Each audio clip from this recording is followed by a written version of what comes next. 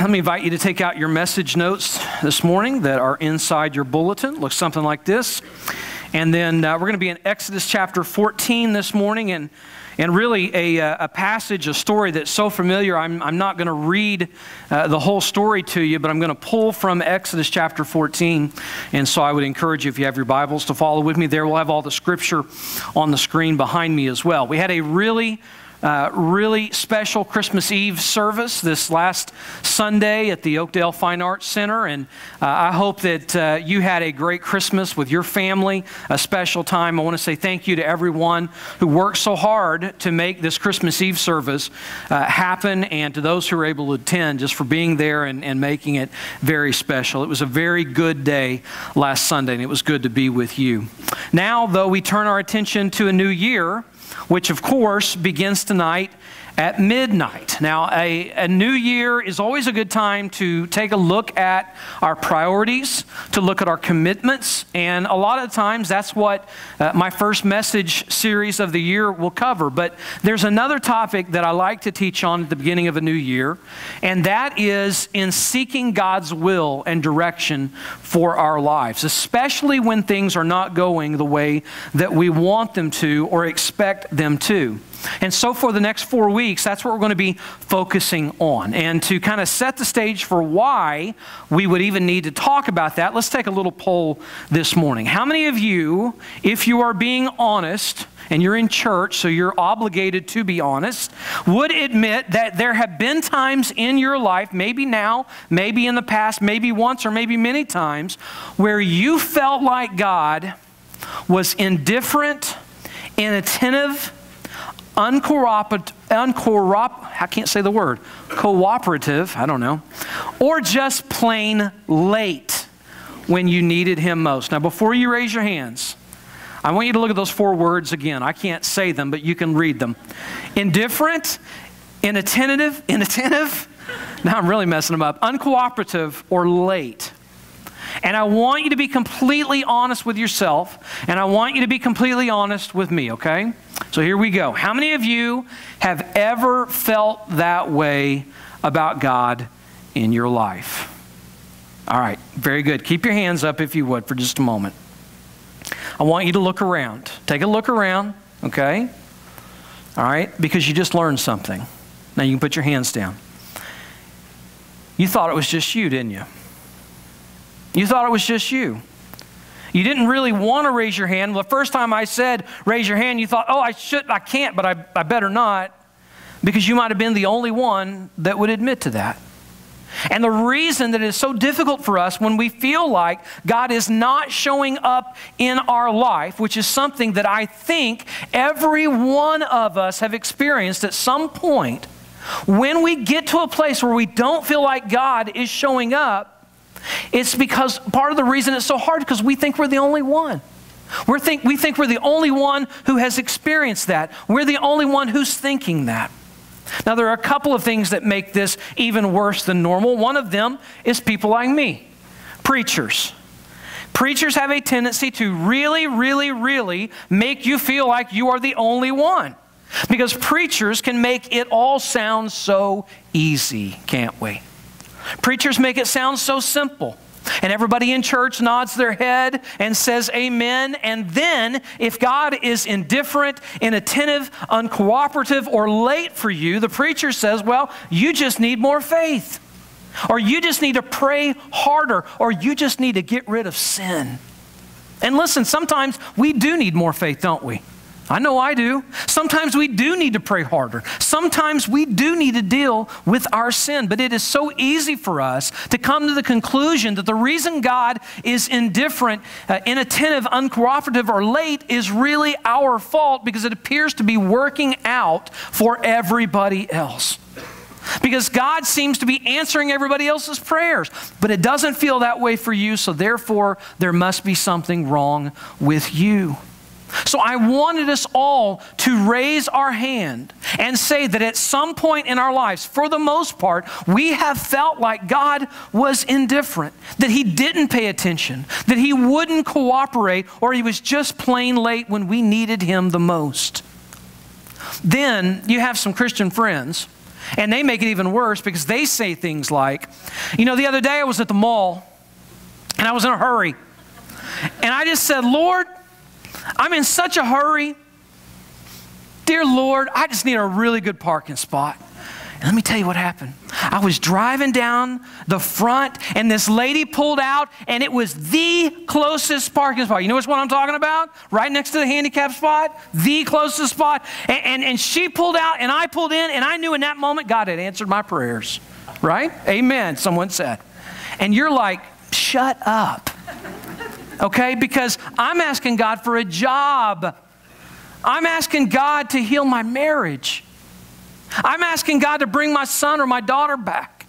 I'm asking God to heal. And God is answering your prayers about a parking spot? Are you kidding me? Now, you would agree with me, it's a problem. It's a problem for our state of mind. It's a problem for our relationship with other people. And it is certainly a problem for our relationship with God when we feel like He's not showing up. Because you see, after a while, when it feels like He's not showing up when we need Him the most, our faith starts to develop little cracks. And we begin to think that if God is silent, then God must be absent. And, and, and if God is not answering my prayer, then there may not be a God. Or, or if God isn't engaging in my circumstances, God isn't doing what I need God to do, then maybe even if there is a God, He's not a God that's ever going to be active in my life. And our faith starts to crack, and our confidence starts to slip, and our hope starts to dwindle, and now you've got a real problem in your life. So here's what we're going to do for the next four weeks. I'm going to tell you one story from the Old Testament and three stories from the New Testament about four men who God absolutely loved. God 100% knew their name, and yet at the same time, there was a point in each of their lives when they felt like God was indifferent, inattentive, uncooperative, or just plain late. And here's what I hope we can all take away from these four weeks together. I hope we all can walk away and realize that we can go through the wilderness we can go through dry times. We can go through times when we feel distant from God. We can go through times and seasons and stages and chapters of our life when God seems indifferent, uncooperative, inattentive, and late, and we can still maintain our faith, okay? That's our goal for these next few weeks. Because listen, God is not being indifferent. He's not being inattentive. He's not being uncooperative, and God is never late, even when it seems like he is. So here's the first story, again, found in Exodus chapter 14. The Israelites, if you remember the story, have been slaves in Egypt for more than 400 years. They cried out to God for help. Then God sent Moses to warn Pharaoh to let his people go. Pharaoh had finally given Moses permission to lead the people out of Egypt. But once they started on their journey, Pharaoh changed his mind. He realized that he had just lost the services of tens of thousands, maybe hundreds of thousands of slaves, and that without that pool of free labor, his own people were going to have to replace them in their work. And so Pharaoh assembled his army and he sets out after the Israelites. Now, the Israelites had come to the bank of the Red Sea, and they had set up camp at a place called Pi Hahiroth. All of a sudden, they noticed the army approaching, more than 600 chariots in full pursuit. And they began to realize that they were now facing uh, an impossible situation with no possible means of escape. In front of them, if you can imagine, was the Red Sea. They were not going to swim across it, they were going to die in it if they got into it. Behind them was the Egyptian army. There was absolutely nowhere to turn. It appeared that their only options were to be killed in battle or to drown in the sea. Seemingly, they had painted themselves into a corner. Things looked absolutely hopeless. And guess what? They were exactly where God wanted them to be. And so today we're going to look at how you can deal with situations that seem to be impossible, especially when God, it seems like He's indifferent to your struggle. Now, listen, the bottom line is some of you are here today and you're facing a Red Sea in your life right now. theme, things look hopeless, they feel hopeless, and you're not exactly sure what to do. Well, there are five spiritual truths I want to show you from this story that can help maybe get you to the other side of your Red Sea. We'll start with this. When God seems indifferent, the first thing you must do is remember that God has a purpose for your problem. You've got to remember, you've got to understand that God has a purpose for your problem. Now, what I'm about to say next is really, really important. So I want you to really listen carefully to this. And if you've been around Oakdale for a while, you may have heard me say this before. As best I can tell, there are four reasons why bad things happen in our lives. Number one is the result of sin that we commit.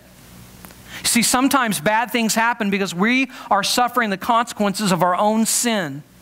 Now, if we're Christians, we know that we will not suffer the eternal consequences of sin in eternity, but we will absolutely still have to deal with sin and the consequences of it here on earth. Are we all on the same page about that?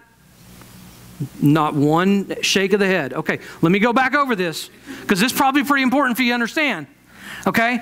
We will not suffer eternal consequences of sin in heaven, but we 100% will suffer the consequences of our sins here on earth. Are you with me on that? This is yes, yes, yes. It's important to understand. Sometimes you'll hear that that's not the case, but you need to read your Bible. That's what the Bible says. Number two, the second reason eh, we suffer the consequence of somebody else's sin. You realize that? Sometimes bad things happen that we have absolutely no control over, but they happen because somebody else chose to sin. The third reason is that we are suffering the consequences of living in a broken world. See, sometimes things, bad things happen because we live on earth, not in heaven. In heaven, there will be no tornadoes, no earthquakes, no droughts, no floods, no ice storms, and that just covers Oklahoma. But um, I'm, right? A fourth reason that bad things happen is because God, listen now, has either allowed it or caused it. The Bible says that God is in control of all things, and yet there are times when He allows or causes bad things to happen, at least bad from our perspective, because they are part of His ultimate plan. And, and it's His plan to do away with all things that are bad and ultimately make everything good again. Here's what you need to understand the events in your life do not happen by accident. God is in control, but he is also he has a purpose for everything. He has a plan for dealing with your sin. He has a plan for dealing with the sins of others. He has a plan for redeeming this broken world that we live in. And do we agree? He had a plan when he brought the Israelites to the Red Sea. Now, we understand why they felt hopeless. We get why they were scared, but we know the other side, don't we? We know what was about to happen. Guess what? He has a plan, he has a purpose for the Red Sea in your life as well.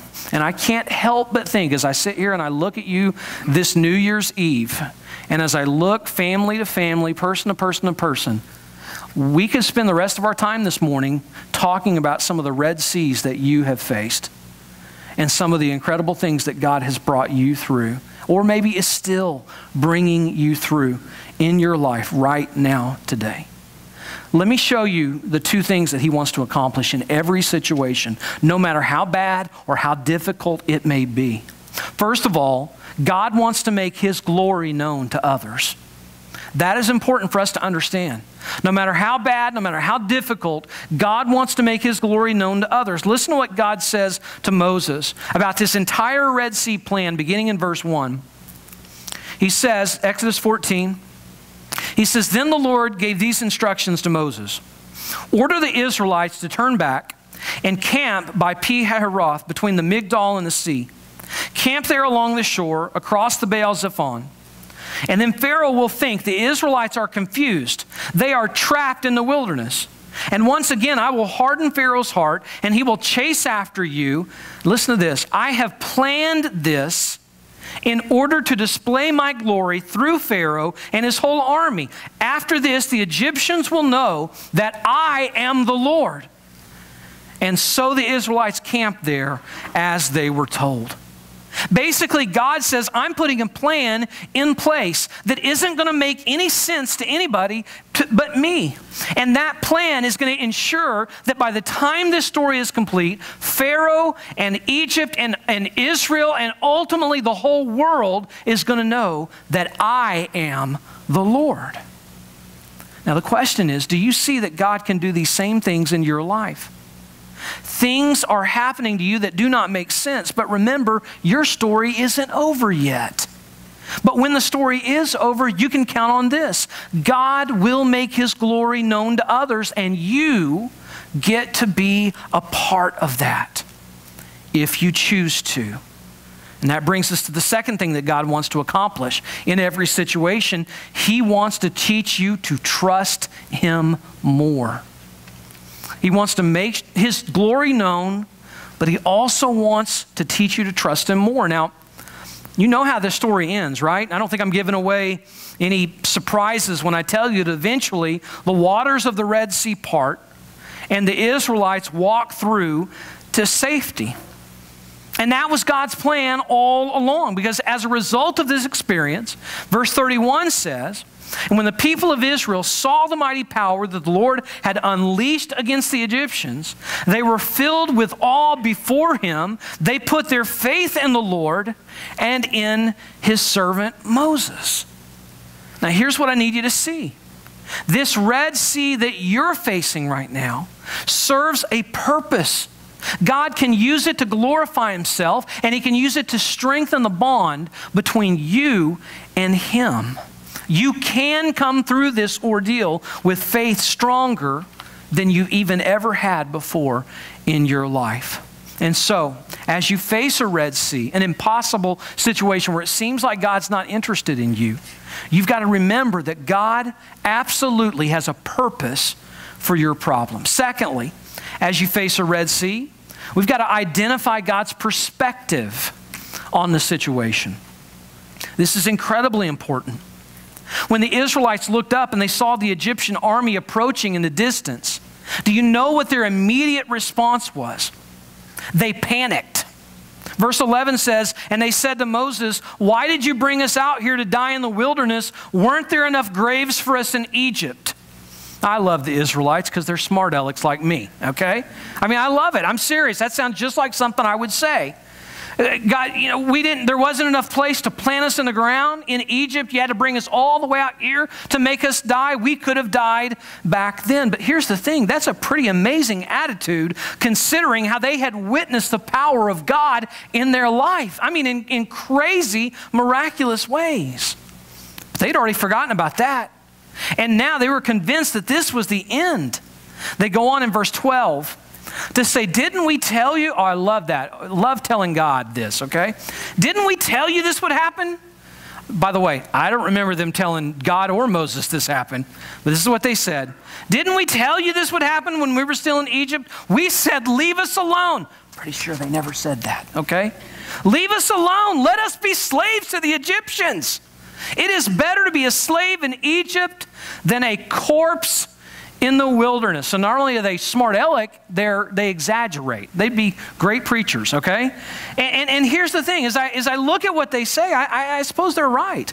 I mean, I guess it would be better to be a slave in Egypt than to die in the desert. But here's the thing God didn't intend for them to do either. He had a plan for them, plans greater than they could possibly imagine. And yet, you get the impression from reading this story that if Moses had called a business meeting, and taken a vote, the majority would have chosen to go back to Egypt right then and there. Now, this is a pretty strong reminder of how easy it is for us to lose God's perspective on a situation. Too often, when we're confronted with an impossible situation, rather than meeting it head on, we take the easy way out. We say, well, we don't want to face the Red Sea and we don't want to face Pharaoh's army, so let's just go back to Egypt. Let's resume our life as slaves. God doesn't want that. He doesn't want you to settle for second best. He doesn't want you to run from the crisis. He wants you to meet it head on with courage and conviction that He is going to help see it through. Understand something. The Red Sea that you're facing is not the impasse that you think it is. It may be tempting to take the easy way out, to settle for second best, but God has a better plan. He wants you to look at the big picture, He wants you to look at life from His perspective. He will get you through this impossible situation. When God seems indifferent, you've got to remember that He has a purpose for your problem. You've got to identify God's perspective on the situation. Thirdly, as you face a Red Sea, you must rely on God's promise. You've got to rely on God's promise to you. I, I once heard a speaker ask an audience if your success was guaranteed, wouldn't you be willing to endure just about anything? In other words, if you had an ironclad contract stating that if you, let's say, dug ditches in the rain every day for six months, you will have complete financial freedom for the rest of your life. Wouldn't you be willing to dig ditches for six months? And the obvious answer, and I can see some of you shaking your head, the obvious answer is absolutely. Of course you would. The truth is, as human beings, we can endure just about anything if we know the outcome. But one of the most difficult aspects of facing a Red Sea is dealing with the feelings of hopelessness and helplessness. When you're facing an impossible situation, when it looks like everything is falling apart around you, like there's no chance that things are going to work out the way that you think they should, when you're facing a Red Sea, you've got to rely on God's promise. What is that promise? Mo- Moses shared it with the people in verses 13 and 14. Let me read it to you. He said to them, Do not be afraid, stand firm and you will see the deliverance of the Lord will bring you today. The Egyptians you see today, you will never see again. The Lord will fight for you. You need only to be still.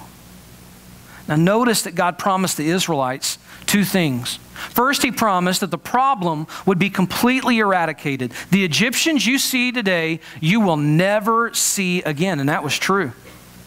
See, we have a tendency to put a band aid on our problem, to sweep our problems under the rug, to get them out of the way for a few days. God promises that He can remove it once and for all. Secondly, He promised to fight for them. Now, without His help, the Israelites didn't stand a chance, but neither do we. We need him in the battle. He has promised to be there for us, he has promised to fight for us, but we must rely on him. Now, what does it mean to rely? Once again, let's look at the verses 13 and 14. Relying on God's promise involves three things. Number one, we have to fear not. Fear not. The words fear not appear in the Bible more than 50 different times. But what's the significance of that? I think it's this. The command, fear not, means you can choose not to be afraid. Now, of course, no one ever chooses to be afraid, but when fear comes, with God's help, you can choose to reject that fear that you naturally feel in your life. Fear not. Moses also said that we've got to stand firm. In other words, don't compromise your integrity. Don't give up. Don't run. Don't hide. Stand and face the situation. And then finally, we've got to be still. And that may be the hardest one for us, right, Marty McBee? It's hard sometimes to be still. Of course, being still doesn't mean doing nothing. We've, we, hopefully, we learned that a while ago. Moses isn't talking about your body, he's talking about your heart. We have to be still in our heart. Being still involves blocking out all distractions, placing your focus on your Heavenly Father. Remember this the peace of God can't hit a moving target. If you want your heart to be filled with God's peace, your heart is going to have to become still long enough to receive that peace. As you face the Red Sea in your life with the enemy closing in from behind, remember that God has a purpose for your problem. You've got to identify God's perspective on the situation. You've got to rely on God's promise to see you through. Number four, you've got to trust in God's protection. You got to trust in God's protection. Did you know that when the Israelites first began their journey, they were led by a cloud by day and a pillar of fire at night. Do you remember that? Does that sound familiar to the story? But when they arrived at the bank of the Red Sea and Pharaoh's army began closing in on them, the cloud actually moved away. It moved around behind the Israelite camp, between the Israelites and the Egyptians. Verse 20 says that the cloud settled between the Egyptian and Israelite camps. As darkness fell, the cloud turned to fire, lighting up the night, but the Egyptians and the Israelites did not approach each other all night. Now, at this point, God had not yet performed the miracle that would deliver the Israelites. That would come later. Until then, they had to trust in God's protection. Now, let me show you something kind of interesting. In verse 19, it says, Then the angel of God, who had been leading the people of Israel, moved to the rear of the camp. The pillar of cloud also moved uh, from the front and stood behind them. So basically, the angel of God who they either could or could not see, we're not exactly sure, and the cloud, which they definitely could see, both of which, the angel and the cloud, had been leading them each and every day in the desert, suddenly does something completely different. It disappears from in front of them. Here's my question How do you think the Israelites reacted when they saw the cloud beginning to drift away? Undoubtedly, like you and I are prone to do, good word, they thought, yeah, there it goes. That's it. We're sunk now. God is leaving, and now we're on our own. You ever feel that way? Ever feel like you're all by yourself? I feel confident that the Israelites did because they were so much like us and their ability to convince themselves that God is going to abandon us. Despite the fact that He has been so faithful to provide for us and protect us in the past. I mean, never mind the plagues. Never mind the miracles. The cloud is moving. It's all over. We're on our own. Well, it might have appeared that way at first. But you know what happened? The cloud moved around behind them and then actually protected them throughout the entire night. You see, as you face any impossible situation in your life, there's something that, that you need to keep in mind. No matter how bad things seem, things are not as bad as they could be. And the reason they're not as bad as they could be is because God is preventing them from getting that bad. Now, I, I know the phrase things could be worse is usually the setup line for a joke, uh, but I'm not joking when I say that if you look at your situation through the eyes of faith, you will see how God has kept his hand on you in spite of even the most terrible difficulties. He's protecting you right now until the day he parts your Red Sea. We got to remember that God has a purpose for our problem. Identify his perspective on the situation. Rely on his promise. Trust in his protection. And then finally, as you face a Red Sea, you also have to depend on God's power. We can't leave God's power out of the equation. This is what God said to Moses in verse 16. Then the Lord said to Moses, Why are you crying out to me? Tell the people to get moving.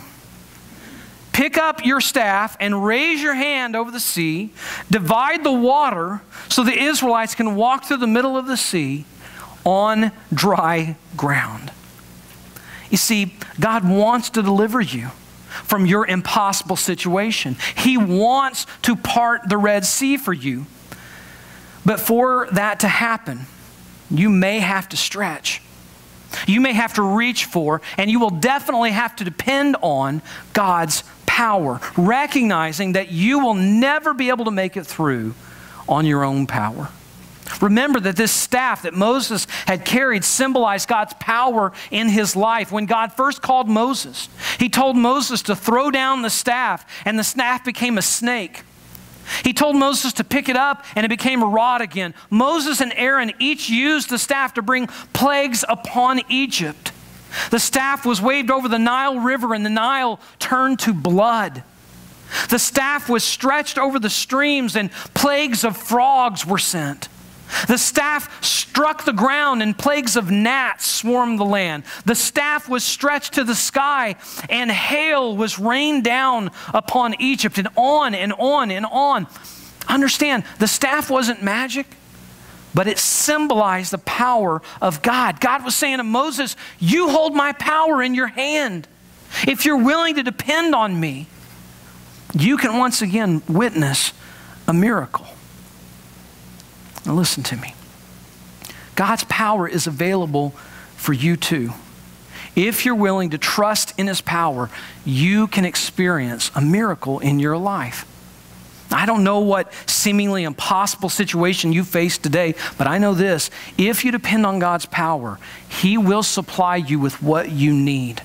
He will get you through to the other side of the sea. Now, I need you to understand something important, and I've said a lot to this point, but if you walk away and you don't hear this part, it's probably not going to be worth anything, okay? So I need you to hear me. The other side of the sea, it may not be what you expect, okay? It may not be what you want. It may not be what you hope for. The Israelites were expecting the promised land when they left Egypt. Instead, they got 40 years in the wilderness before they were ready for their reward. The disciples in Jesus' day were expecting a king to rule over Israel and return their nation to its former glory. Instead, do you remember what they got? They got a crucified Savior and ultimately a resurrected Savior.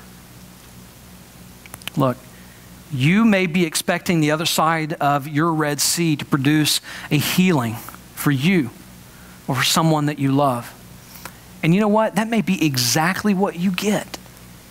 Or what you may get is the ultimate healing that lasts forever. Do you understand the difference? As a church, you've heard me say many times no matter what, it's either going to get better or what? It's going to get a whole lot better. God has a plan. Are you facing a Red Sea in your life? Are there situations in your life that seem absolutely impossible? Remember, it only seems impossible to you. God has a plan. It may be something different than you could have ever imagined, but He absolutely has a plan. He will get you to the other side. And when He does, you can be sure that others are going to see His glory in your life, and your relationship with Him will be stronger than ever before. You're not on your own. You don't have to fight the army, and you don't have to conquer the sea in your own strength. Here's what you have to do you've got to remember that God has a purpose for your problem. You've got to identify God's perspective, not our human one. You've got to rely on the promise that God has given us that He will be with us no matter what. You've got to trust in His protection. And ultimately, you've got to depend on God's power. Let me ask you to bow your heads and let's, let's begin to really focus in on what God is trying to say to us, what kind of response He wants from us today. Heavenly Father, as, as we come to you this morning, as Amy has already pointed out, we're prone to wander. We're prone to forget about just how faithful you've been to us and how good you've been to us and how many incredible ways you have provided for us. God, it is very easy for us to bless you one day for the incredible things you've done, and, and, a few days later to say, God, where are you? Where have you been? We don't even know if you're here. It's so easy for us to feel like you're not showing up, God. But I pray today through the story of the Exodus, the story of the Israelites in the Red Sea, you would remind us that even when a situation seems impossible, it is not impossible because you're in charge. And God, we're not promised it'll turn out exactly the way we want it to or the way we think it will, but we are promised that number one, you will be there for us, and number two, you will see us through to the other side, whatever the other side looks like. And so I pray this morning as we begin a new year, that this would be a year in which we would set our hearts and our trust and our hope all on you, God. Maybe there's somebody here this morning who doesn't know you as their God, doesn't know Jesus as the Savior of their life. I pray that today you would plant a seed in their heart that would allow them to begin to seek you and want to know you in their life. For those of us who've known you, who love you, who have surrendered to you, I pray that we might live our lives differently with the confidence and the knowledge that you have been and are and will be faithful to us in every way, even in the midst of impossible situations. God, we love you. May our love be reflected in the way that we live our life for you. It's in Jesus' name I pray. Amen. Amen. Let's stand together. And as Amy leads us, let me encourage you just to think about how God wants you to respond to Him today. Whatever that impossible situation is that you have faced or are facing now, bring it to Him, entrust it to Him, and let Him know, I know, God, you've promised to see me to the other side. As we sing and worship, I'll be here this morning. If you need someone to pray with you, be happy to do that. Let's worship Him and respond to Him. And come, thou fount of every blessing, tune my heart to sing thy grace. Streams of mercy never ceasing, call for songs of loudest praise. Teach me some melodious sonnet, sung by flaming tongues above Praise the mount I'm fixed upon it, mount of thy redeeming love. Let's go to verse 2. I was lost in utter darkness till you came and rescued me. I was bound by all my sin when your love came and set me free. Now my soul can sing a new song. Now my heart Now your grace is always with me, and I'll never be alone. Let me ask you to bow your heads. And if you would, just for a moment, as we kind of finish up this morning, let me lead you. First of all, let me lead you. If you're in a place right now where you would say, No Red Sea for me, no army crushing down on me, I'm in a good place right now. If that's you, I want you to spend the next 30 seconds and I want you to praise your God and thank Him for the blessing that you're experiencing right now. Go, do it. Give that to Him. And if you're here this morning and you do feel like you're facing a Red Sea in your life, then let me challenge you right now to pray and think through what we've just talked about. Tell God that you're willing to trust Him. Tell God that you're willing to depend on Him and rely on Him. And that you will lean into Him no matter what happens next and no matter how long it takes. Go, pray, tell Him what needs to be said.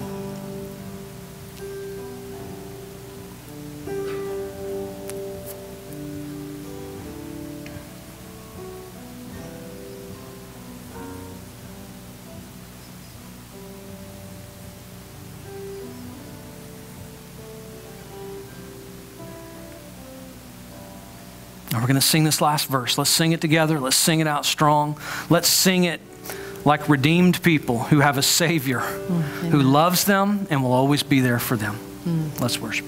And oh, to grace, how great a debtor daily I'm constrained to be. Let thy goodness, like a fetter, bind my wandering heart to thee.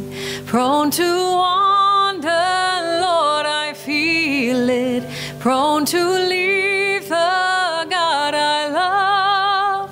Here's my heart, Lord, take and seal it seal it for thy courts above.